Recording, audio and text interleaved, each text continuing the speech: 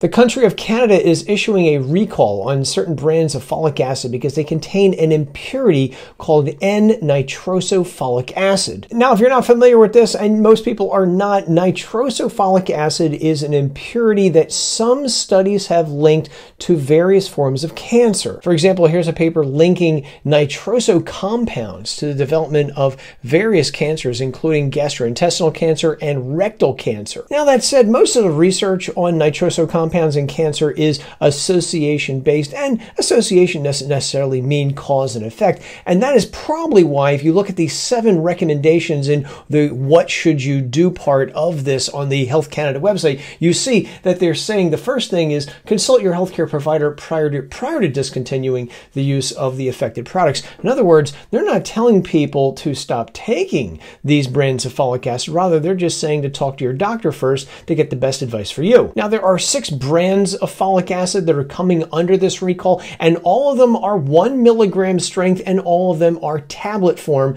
The brands are as follows Equate folic acid, Sisu folic acid, Pharmasave folic acid, Compliments folic acid, Health One, and Nature's Bounty. Now, I'm not familiar with most of these brands, with the exception being Equate folic acid, which is usually the Walmart brand, and Nature's Bounty, which has been around a long time and also very popular. And to give you a better idea, if you have these folic acid supplements, here are the brands along with their associated lot numbers, which you should check to see if you actually have these brands. And as an aside, if you have these folic acid supplements after talking with your doctor, maybe take them back to this place you got them from and try to get a refund.